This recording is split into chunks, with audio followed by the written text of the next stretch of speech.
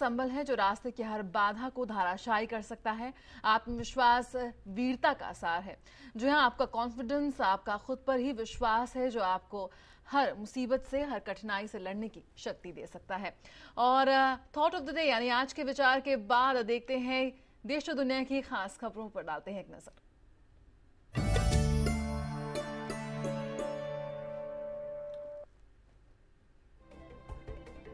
लालकृष्ण आडवाणी को गांधीनगर से उम्मीदवार बनाए जाने पर पार्टी में मतभेद भोपाल से सीट न मिलने पर आडवाणी ने पार्टी से जताई नाखुशी।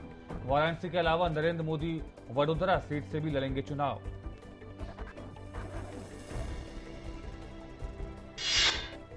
सूचना एवं प्रसारण मंत्री मनीष तिवारी लुधियाना सीट से लड़ सकते हैं। चुनाव पहले आ, पहले स्वास्थ्य कारणों के चलते चुनाव लड़ने से इंकार करने की अटकलों पर लगा विराम।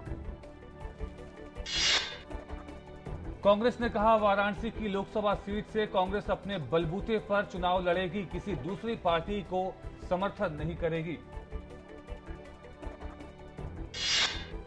तृणमूल कांग्रेस ने कल दिल्ली लोकसभा की सात सीटों में से चार सीटों पर अपने उम्मीदवारों का किया ऐलान।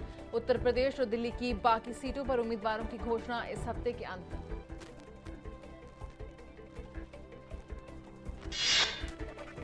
डीएमके ने पार्टी से निलंबित नेता अलगिरी से संपर्क रखने वाले नेताओं के खिलाफ दी अनुशासनात्मक कार्रवाई की चेतावनी।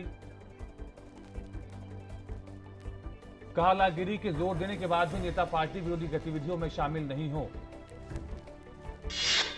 एक जनहित याचिका में ओलावृष्टि से प्रभावित किसानों को बीस हज़ार करोड़ रुपए का राहत पैकेज देने के लिए केंद्र और महाराष्ट्र सरकार को निर्देश देने का बॉम्बे हाईकोर्ट से किया गया अनुरोध।